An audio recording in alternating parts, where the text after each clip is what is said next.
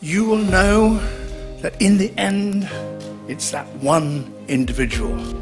That one individual that has passion. That one individual that has fire in the belly. That one individual that's determined that something should be done. That's what the Future for Nature is all about.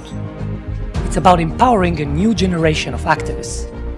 It's about taking those new ideas, new thinking, thinking outside the box, and take those ideas from the fringes of conservation back to the center.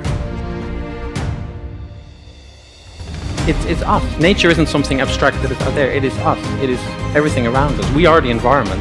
And we all share this connection to the earth. We're all part of the earth. But only some will go to great lengths in order to protect and conserve the natural world that worries us so much at the moment.